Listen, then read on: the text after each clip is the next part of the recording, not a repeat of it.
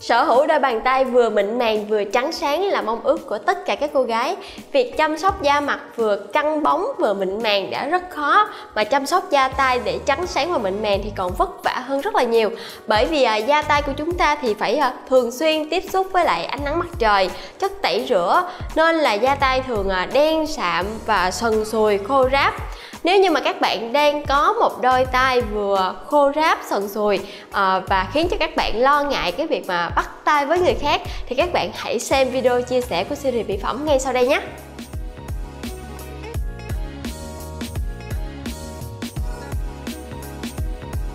Lưu ý đầu tiên, tẩy tế bào chết cho da tay. Đây là một bước cực kỳ quan trọng mà chị em của chúng ta thường hay xem nhẹ.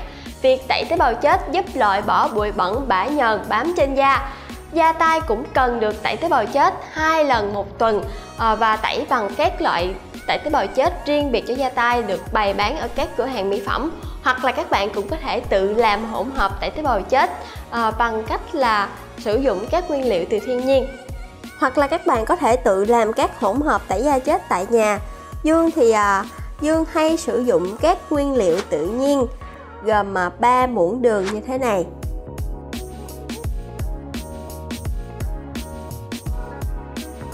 Rồi cộng thêm một muỗng nước cốt chanh.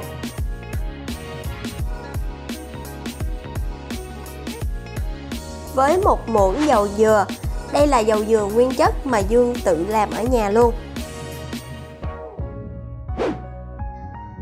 Sau đó thì à, các bạn chỉ cần trộn đều cái hỗn hợp này lại với nhau. Khi mà các nguyên liệu đã hòa tan vào nhau thì à, Dương sẽ cho lên tay và cứ như thế này massage nhẹ nhàng từ 5 đến 10 phút. Các bạn cứ massage nhẹ nhàng như thế này trong khoảng 5 đến 10 phút là được. Rồi sau đó thì chúng ta chỉ cần à, rửa tay lại bằng nước ấm là đã tẩy tế bào chết cho da tay thành công rồi đấy.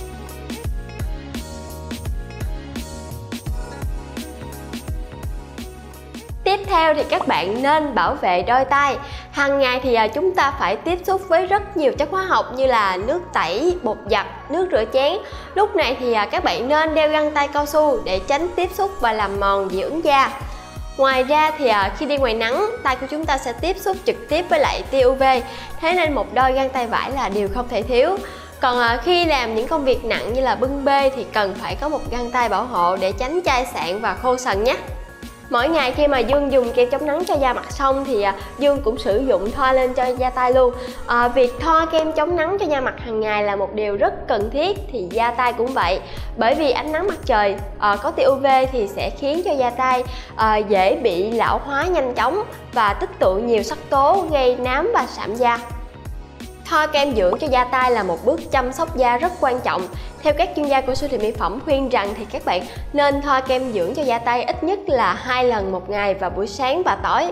Kết hợp việc massage uh, không cần quá cầu kỳ, chỉ cần các bạn ờ, uh, thoa kem lên tay, uh, ờ, xoay cổ tay như thế này và kéo căng các đầu ngón tay Bài tập này không những ờ, giúp máu lưu thông tốt, chống lại các biểu hiện lão hóa trên tay mà còn giúp da mềm mịn bất ngờ nữa. Các bạn phải kiên trì đó nha.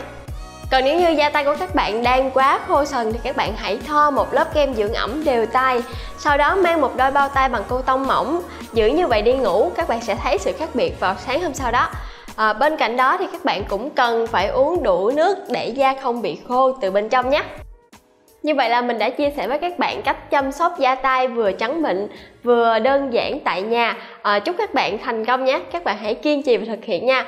Nếu như các bạn còn có bất kỳ thắc mắc nào thì các bạn hãy comment phía dưới video này. Các chuyên gia của siêu thị mỹ phẩm luôn sẵn sàng để giải đáp cho các bạn.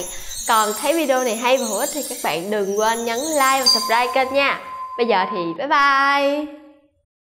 Everything changes.